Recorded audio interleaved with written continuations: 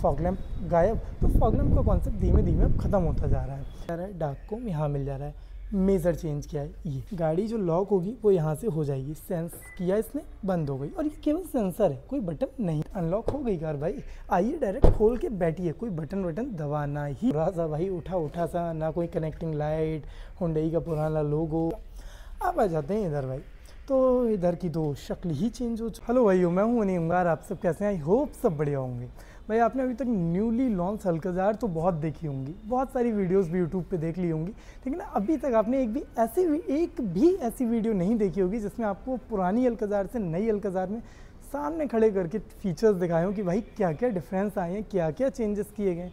ये नहीं बताया होगा कहीं भी। तो आज हम इसी की शुरुआत करेंगे और बताएँगे आपको कि पुरानी अलकज़ार से न्यू अलकज़ार में जाने पे आपको क्या क्या नया फीचर या क्या क्या नई चीज़ें देखने के लिए मिलती हैं। तो फटाफट वीडियो को स्टार्ट करते हैं और एक तरफ़ से देखते हैं कि हमें क्या क्या चेंजेस कार्स में देखने के लिए मिलते हैं। भाई कार्स को फ्रंट से स्टार्ट करते हैं तो सबसे पहले मेजर मेजर चेंजेस की बात कर लूँ तो ये तो घड़ी अपनी पुरानी, ये घड़ी है नई।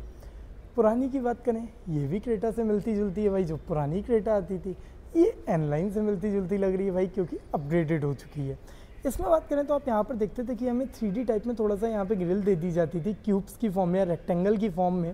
इस तरह से पूरा ग्रिल हमें यहाँ देखने के लिए मिलती थी। वैसे मैं एक बात और बता दूँ आपको, दोनों ही टॉप एंड वेरियंट्स हैं। ये बात मैं इसलिए कह रहा हूँ क्योंकि लोअर वेरियंट्स में सेवनटीन इंचज़ के अलॉय व्हील आते हैं, लेकिन यहाँ पर दोनों में ही 18 इंचज़ के अलॉय व्हील हमें यहाँ देखने के लिए मिल रहे हैं। फ्रंट ग्रिल की बात की थी यहाँ मैंने, और यहाँ अगर मैं ग्रिल की बात करता हूँ तो आप देखेंगे अलग ही लुक हो चुके हैं ग्रिल के। डार्क क्रोम ये देख रहे हैं ना डार्क क्रोम के साथ आपको यहाँ ग्रिल दे दी जा रही है। फ्रंट कैमरा यहाँ भी है फ्रंट कैमरा वहाँ भी है। हुडई का लोगो यहाँ भी है बट यहाँ पे पुराना वाला है, यहाँ पे नया वाला लोगो आ चुका है सल्टा सिल्वर फिनिश वाला। एक चीज़ पे और ध्यान देंगे, यहाँ रडार लेवल टू अडास मिल जा रहा है बट यहाँ पर ये चीज़ नहीं थी। रडार और लेवल टू अडास यहाँ पर नहीं था। और बातों पर बात करते हैं भाई। तो यहाँ पर फॉक लैम्प देखने के लिए मिल जाती थी। आप देखते थे पुरानी वाली अलकजार लेते थे, आपको फॉक लैम्प देखने के लिए मिल जाती थी। बट यहाँ पर आपकी फॉक लैम्प का कॉन्सेप्ट ही खत्म हो चुका। है बहुत सारी कंपनीज़ नई जितनी भी कार आ रही है फॉक लैम्प मिलती ही? कहाँ जस्ट लाइक आपको मैं क्या ही दिखाऊँ भाई, इधर आ जाते हैं जैसे। यहाँ पर अपनी ये हो गई एक्स्ट्रा हो गई फॉक लैम्प नहीं है। इधर आ जाऊँ आई टेन खड़ी है अपनी फॉक लैम्प नहीं है। इधर आ जाता हूँ वेन्यू फॉक लैम्प गायब। तो फॉग लैम्प का कॉन्सेप्ट धीमे धीमे अब ख़त्म होता जा रहा है। इसीलिए आप देखेंगे यहाँ पे फॉग लैम्प जा चुकी हैं। आप इधर बात करते हैं इसकी डीआरएल पहले ऑन करता हूँ, फिर दिखाता हूँ। तो वही फ्रंट से दोनों दिखती हैं कुछ इस तरह से। यहाँ अगर डीआरएल की बात करूँ, इस तरह से। सी शेप उल्टा या फिर यू बोल सकते हो आप। और नीचे की तरफ़ आपको वाइट फॉग लैम्प के साथ आपको यहाँ दो इंडिकेटर दे दिए जाते थे। और दो ही इंडिकेटर आपको ओ आर पर मिल जाते थे। वहीं अगर बात करता हूँ इधर भाई एच शेप डीआरएल पूरी कनेक्टिंग डीआरएल और वहीं पर आप देखेंगे पूरा का पूरा एलईडी सेटअप है। जबकि यहाँ पर हेलोजन में क्या मिल रहे थे? इंटीग्रेटर बट यहाँ पूरा का पूरा क्या हो चुका है? एलईडी सेटअप हो चुका है। बाकी वही चलते हैं आगे की तरफ़। बाकी बोनट बोनट तो वो सब चेंजेस होने ही हैं, क्योंकि बिल्कुल पुराना, नया तो भाई ये चेंजेस तो आने ही आने अब आते हैं साइड में। तो साइड व्यू आपको काफ़ी हद तक मिलता जुलता लगेगा। जैसे आप यहाँ से देखो दोनों के, काफ़ी हद तक आपको मिलता जुलता लगेगा। लेकिन चेंजेस भी बहुत सारे हैं। जैसे ओआरवीएम आपको सेम लगेगा बट रूफ रेल देखिए, यहाँ पे कैसा है? बिल्कुल चिपकी हुई सी रूफ रेल जा रही है भाई बट यहाँ पे पूरा कॉन्सेप्ट चेंज रूफ रेल देख रहा, क्या एकदम प्रैक्टिकल वाली आ चुकी है, उठ के एकदम मजबूती के साथ। तो ये एक अलग, पूरा का पूरा आपको मेजर चेंज यहाँ पर देखने के लिए मिल जाता है। डी क्रोम में भाई, डार्क क्रोम, डी क्रोम, कुछ भी कह लो। डार्क क्रोम यहाँ मिल जा रहा है, डार्क क्रोम यहाँ मिल जा रहा है। मेजर चेंज क्या है ये। ये देख रहे हो, गाड़ी लॉक हो गई। गाड़ी अनलॉक हो गई। बट भाई, यहाँ पर अगर मैं ये करने जाता हूँ, ड्राइवर साइड गेट पे चलते हैं तो एक तो पहली बात ये पॉम्पों ही बंद हो चुकी है। सेकंड थिंग, गाड़ी जो लॉक होगी, वो यहाँ से हो जाएगी। सेंस किया इसने, बंद हो गई। और ये केवल सेंसर है, कोई बटन नहीं है। गाड़ी अनलॉक करनी है, यहाँ से नहीं होगी। केवल ये हो गया, बस अनलॉक नहीं होगी। अनलॉक कहाँ से होगी? यहाँ से। ये ये करा मैंने? दैट्स इट अनलॉक हो गई कार भाई। आइए डायरेक्ट खोल के बैठिए। कोई बटन वटन दबाना ही नहीं है। तो ये बहुत बड़ा चेंज आपको यहाँ पर देखने के लिए मिल जाता है।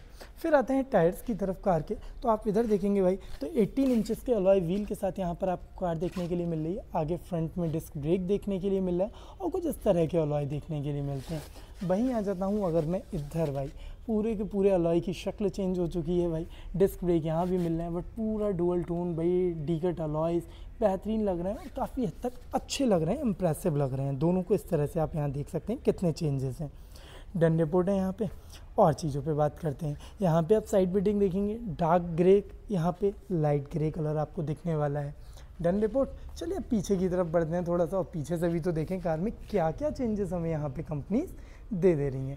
भाई रियर साइड में अगर मैं बात करूँ, red power wash unit software antenna सब आ जा रहा है, कोई दिक्कत की बात नहीं है उधर भी आ जा रहा है आराम से, सारी चीज़ें पुराने नए में हैं बट अलकजार जो ये ऊपर ऊपर दिख रहा है ना बुर बुरा सा भाई, उठा उठा सा, ना कोई कनेक्टिंग लाइट हुंडई का पुराना लोगो और ये कुछ इस तरह से रियर की लाइट आपको यहाँ दे दी जा रही है, और कैमरा कैमरा कैमरा तो ये रहा कैमरा पीछे का।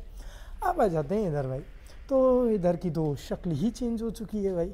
एकदम साल्टा सिल्वर फिनिश एकदम प्रीमियम वाली नया हुंडई का लोगो कनेक्टिंग लाइट आ चुकी है रिवर्स में। टर्बो की बैजिंग उधर सिग्नेचर टॉप एंड वेरिएंट की भी बैजिंग आ चुकी है यहाँ पर। और कैमरे की बात करें तो वो यहीं पर प्लेस्ड है। इसके प्लेट भाई, इसमें थोड़ा सा लाइट क्रोम या फिर साल्टा सिल्वर फिनिश का यूज़ किया गया है, जबकि वहाँ पर एक डार्क क्रोम का यूज़ किया गया है। बाकी यहाँ से आप दोनों कार्स को एक साथ देखेंगे, ज़मीन आसमान का अंतर लगेगा भाई। ये फेसलिफ्ट है केवल। जनरेशन चेंज होती ना तो एक अलग ही होती फिर तो कार लेकिन ये क्या है, केवल एक फेस लिफ्ट है नॉट द जनरेशन चेंज नहीं भाई, चले अब कार के अंदर। तो सबसे पहले की की बात कर लेता हूँ। की बहुत डिफरेंस होगा, क्योंकि भाई इतना बड़ा जनरेशन गैप आया है। जनरेशन सॉरी मैं बार बार जनरेशन गैप बोल दे रहा हूँ। फेस लिफ्ट आया तो की तो चेंज हुई होगी। तो भाई ये रही अपनी इस कार की की और इस कार की अगर बात करूँ न्यू की तो ये रही भाई, इस कोई चेंजेस नहीं है भाई। सेम है बिल्कुल। अगर साथ में रख दी जाएँ और मिला दी जाएँ चाबियाँ तो आप पहचान भी नहीं पाएँगे कौन सी किस कार की चाबी है। तो फटाफट वापस रख लेते हैं भाई, इस कार की तो इधर वाली पॉकेट में। और इस कार की तो इधर वाली पॉकेट में रख ले रहे हैं। चलिए सबसे पहले बात करते हैं इंटीरियर में। घुसते ही भाई क्या क्या चीज़ें देखने के लिए मिल रही हैं? तो ये जी ऑन हो गई कार अपनी, यहाँ से। बात करें तो ये पैनल तो आप हुंडई की किसी कार में चले जाओ, नई, पुरानी, कैसी भी ले लो भाई, ये पैनल कभी भी चेंज नहीं होगा, आपको सेम ही देखने के लिए मिलेगा।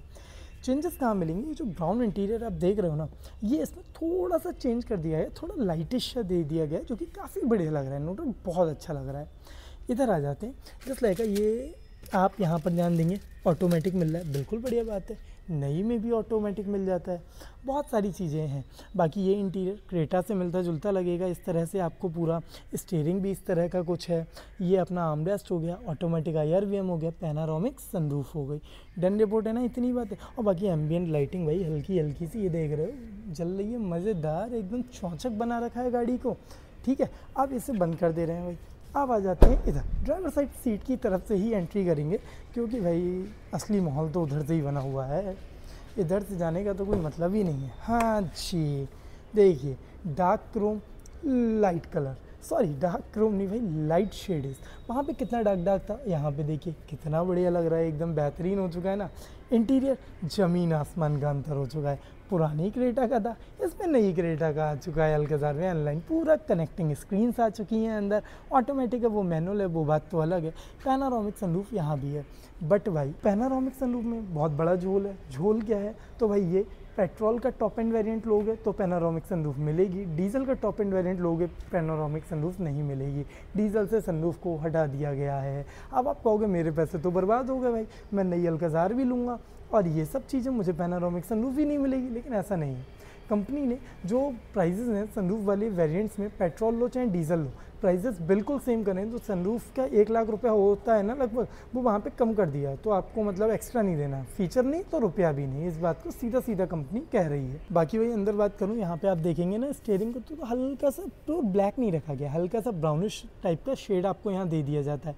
बाकी तो ए सी वेंट हो गए, सब हो गए यहाँ पर और बाकी सबसे मेन चीज़ भाई पुरानी में मैं अभी दिखाऊँगा आपको। ये देख रहे हो ना, ये ये शेड्स नहीं मिलेंगे आपको कहीं भी, ये टच ये फैब्रिक ये प्रीमियमनेस नहीं मिलेगी वहाँ पर, जो कि अब दी जा रही है। बहुत प्रीमियम है लिटरली ये। ठीक है बोर्ड है। बाकी एक चीज़ और बता देता हूँ भाई, फिर चलते हैं पुरानी वाली पे। इससे सही से बंद कर दें। हाँ जी। अरे, बंद नहीं किया भाई, मैंने खोला था केवल सेंसर इतनी आसानी से काम करेंगे तो कैसे काम चलेगा भाई? इधर आते हैं। तो भाई, अगर आप अलकजार न्यू में सिक्स सीटर का ऑप्शन लेते हैं तो आपको सेगमेंट लीडिंग मैं इसलिए बोल रहा हूँ, आगे की फ्रंट दो सीट्स तो आपको वेंटिलेटेड मिल ही रही हैं, लेकिन पीछे की दो भी वेंटिलेटेड सीट्स देखने के लिए मिलती हैं, अगर आप सिक्स सीटर का ऑप्शन लेते हैं तब। ठीक है? अगर सिक्स सीटर का ऑप्शन लेते हैं तब। भाई, अगर मैं आ जाता हूँ पुरानी वाली की तरफ़ अपनी तो भाई यहाँ डीजल ले लो टॉप एंड ले लो, बिल्कुल बात सही है, आपको मिल जाएगा पेनोरामिक सनरूफ ठीक है? लेकिन आपको चारों की चारों सीट वेंटिलेशन के साथ देखने के लिए नहीं मिलेंगी यहाँ पर। वो केवल नए में फीचर आया तो भाई पुराने में कैसे दे देंगे? तो ये चीज़ आपको यहाँ पर फ़ायदा मिल सकता है थोड़ा बहुत, इतना ज़्यादा नहीं है। बाकी अगर मैं इंटीरियर की बात करूँ तो इंटीरियर भाई देख लो, ये कैसा है? रफ रफ सा, बिल्कुल मतलब एवरग्रीन वाला कुछ कर लो इसमें, और वो कितना प्रीमियम था। तो ये सारे डिफरेंसेस तो आपको देखने के लिए मिलेंगे ही मिलेंगे। बोर्ड है ना इतनी तो बाकी भाई एम्बियंट लाइटिंग क्या चौचक लग रही है बिल्कुल। इधर से दिखाता हूँ, ये देखिए एकदम अंधेरे में भाई, माहौल बनाने वाली है बिल्कुल भाई, माहौल बनाने वाली। डंडे पोर्ट है, चलिए भाई, बाकी तो कुछ इस तरह से थे चेंजेस इधर चलते हैं, थोड़े चेंजेस और दिखा दे रहा हूँ।